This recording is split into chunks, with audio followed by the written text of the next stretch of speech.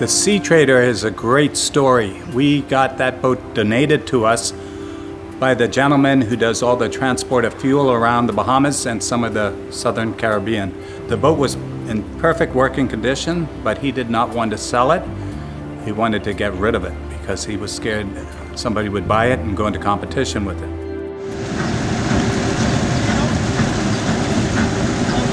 Boy, it can be a sad day. I ain't gonna lie, you know, I, have plenty memories on board. Huh? I've been on board, share on board now for six years. I spent uh, four years as a mate, chief mate, and two years as a master. So it'll be very, it'll be very hurtful, very sad to see it go down because you know there's a lot of memories here, especially with my crew.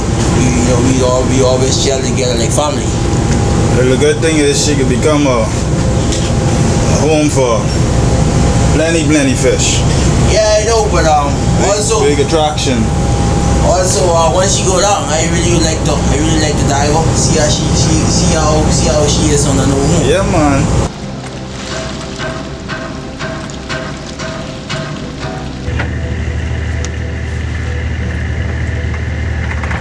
Hey, don't move yet. Look down, look down. Let's. Look down first. Say hello. Hey. Just hi. Bob. So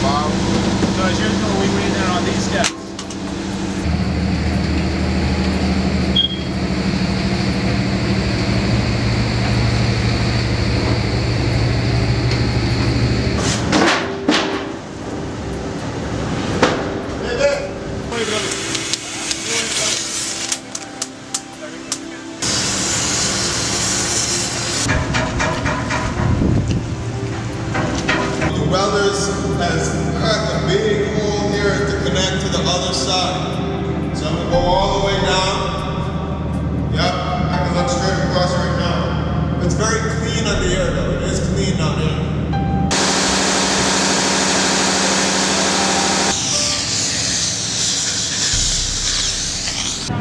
What's that? I need 10 or 15 more feet. Hold on. Yeah, you got it. You forget your shoes, eh?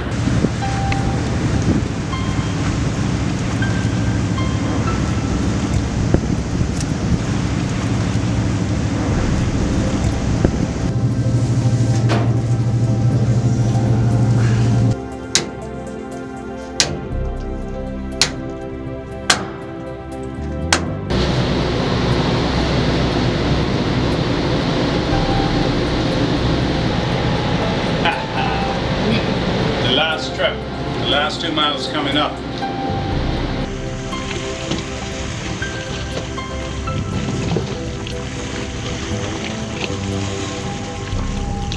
That's what this hatch over Yes. here. Yes. Well, for the, I mean, 99%, yeah.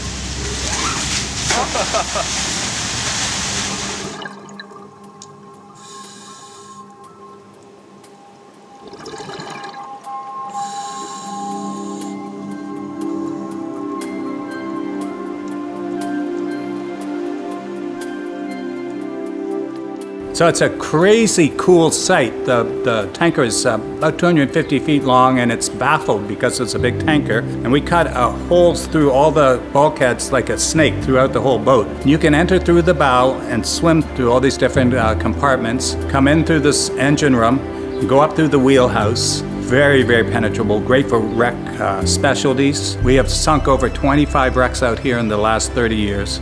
Stern is in 70 feet, the bow is in 80 feet.